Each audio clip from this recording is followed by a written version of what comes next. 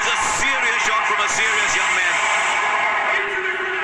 Could be the Safari Super Striker. This is Kagiso Rabada. Yeah, this is really very, very, very pleasing to see from a...